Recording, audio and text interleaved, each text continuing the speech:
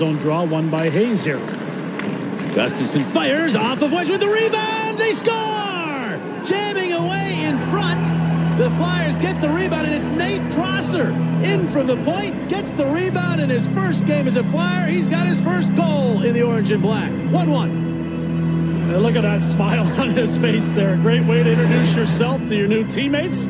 It's Hayes with the win on the draw. It's Gustafsson doing a great job getting that shot through. JVR again providing the screen. May have tipped it on the way there. And there's Prosser stepping in and putting that puck into the nets. Here's the shot right there. JVR causing all kinds of problems. That opens up the space for Prosser to walk in. And I absolutely love the reaction from Prosser right there.